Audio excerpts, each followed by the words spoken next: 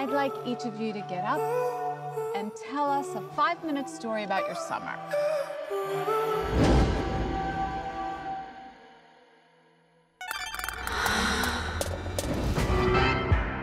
At some point, you make a choice about who you are and what you want.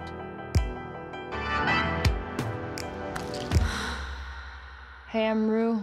I'm an addict. You're about to start a brand new chapter.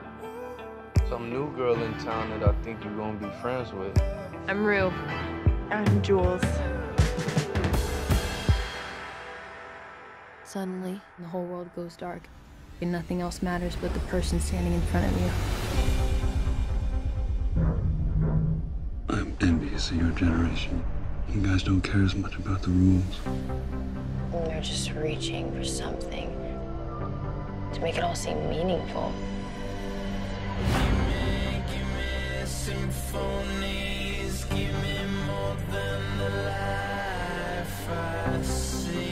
Every time I feel good, I think it'll last forever. But it doesn't.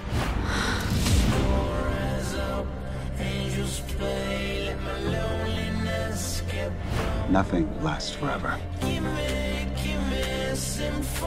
I've got an idea.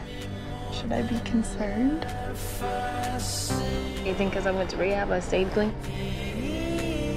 I mean, ain't that the point? If I could be a different person, I would.